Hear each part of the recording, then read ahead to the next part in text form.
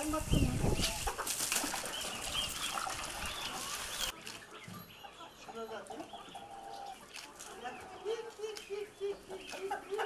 git, git.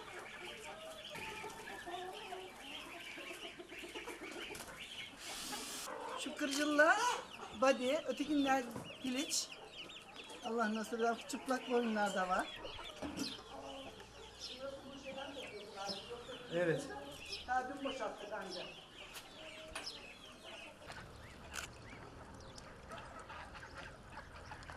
Sağlaya sağlaya bahçeye bahçeye.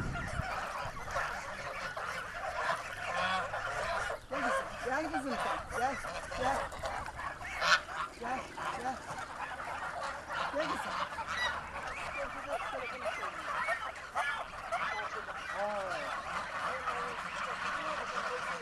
Herkes ellerine birer telefon almış. Çiftlik oyunu oynuyor. Anneler, çocuklar onu yapacaklarına.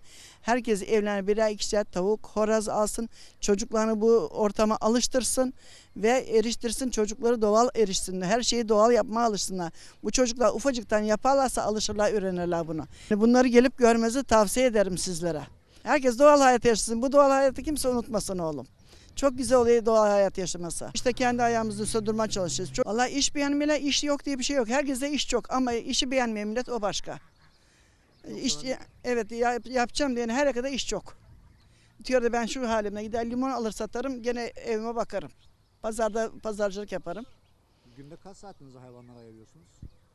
Hiç belli olmuyor. Bazı sabah bir iniyoruz öğleye kadar. İlkinden sonra bir çıkıyoruz. Akşama ezanı geçiyor biz namaz kılmaya çıkıp yukarı yemek yemeye çıkasıya kadar. E, sabah kalkıyoruz. Yemlerini veriyorduk. Şimdi yemler vermiyoruz. Buraya çayıra salıyoruz. Onlar gidince Hacı abinin altlarını süpürüyor. Yıkıyoruz beraber. Ondan sonra tavukları salıp onları yemliyoruz. İşi bitince getirip buraya su koyuyoruz önlerine sadece. Akşam eve gelince de misir silajı var. Misir silajını karıştırıyoruz yemden dolduruyoruz. Onları yiyorlar. Sularını dolduruyoruz. Gece kalkıp su dolduruyoruz önlerine. 150 diyeyim kazları.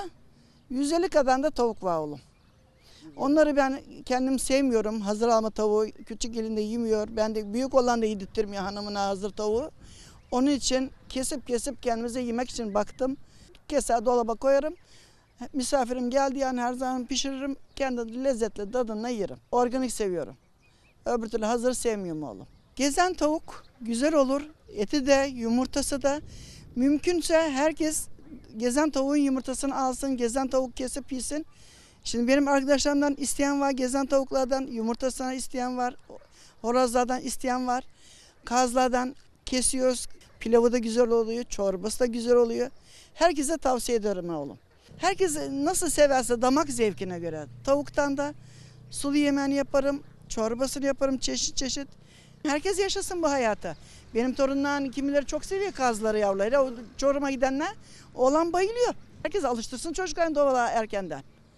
Ne var? Doğal gibi var mı?